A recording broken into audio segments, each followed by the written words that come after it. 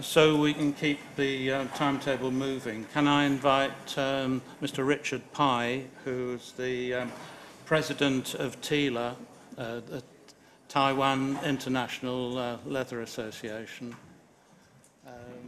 I would like us, as uh, our Secretary General, Kevin, mm, give a brief of the chart.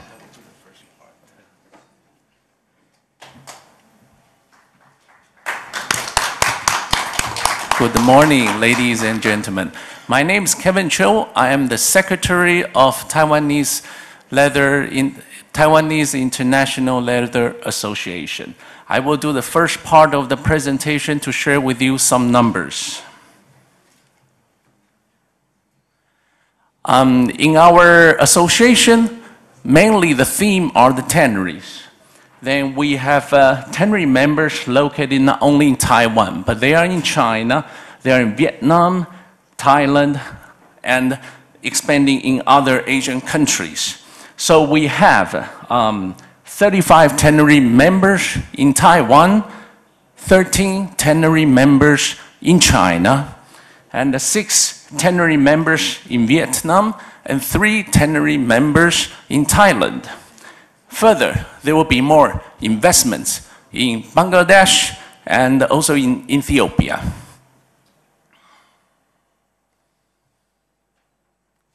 Then the next number I'll show you are the, um, the total number of uh, quantity productions among all these tanneries. Our leather industry concentrates on bovine upper and bovine splits. Then the, the third category is pigskins.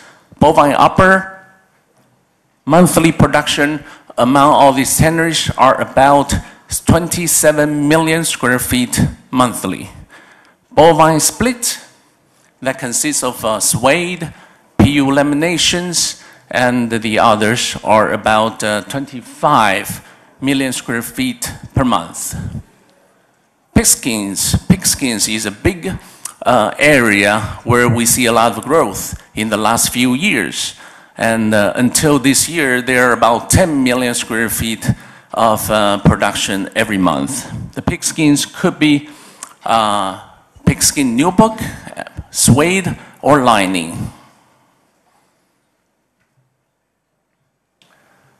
This chart shows the figures for Taiwan only because our uh, foreign trade, our Bureau of Foreign Trade can only give us number out of Taiwan, not in other countries. For example, the 13 tanneries in China would be included in Mr. Chen's um, total number, which he just uh, uh, gave to the audience. So we see that uh, from 2013 to 2014, um, there was increase.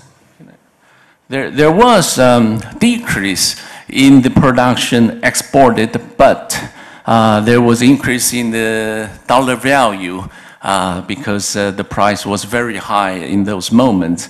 However, the pigskin, as I just mentioned, there were increases in the last few years. Then from 2014 to 2015, we have the figure from January until May.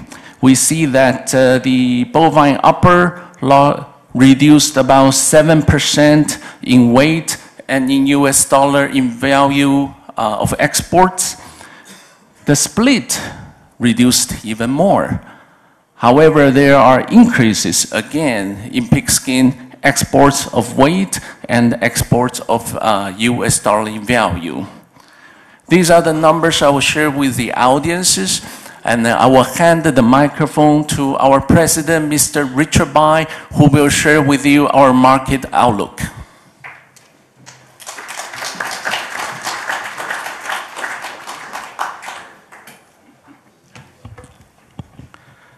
Good morning, ladies and gentlemen. You know, as a chairman of the TILA, um, we, um, maybe all of you already know um, Taiwan tannery is uh, growing with the shoe industry. In the, we, you can say it's like the athletics brand Nike, Adidas, or, you know, mm, outdoors, mm, Timberland, Wolverine, or casuals like Clarks, Nine West, majority of the, you know, 80% mm, shoes are produced by the Taiwanese, you know, owners as managing shoe factories. And from those shoe factory is about another 80% of the material purchasing from the Taiwanese mm, tannery. This is the, the uh, reason, passing 30 years, in, we, in Taiwan, we're facing a lot of the challenge environment, you know, especially in intensive of the labor shortage. So 20 years ago, you know, majority of the shoe factory and the tannery, we moved to Thai, uh, China and Indonesia or Thailand.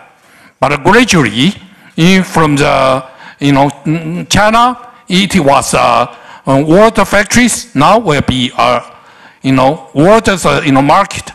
So, mm, according to the increasing of the labor cost, more and more shoe factories from Taiwanese shoe factory owner, they are moving, you know, to Vietnam, Bangladesh, or some of them even going to Ethiopia.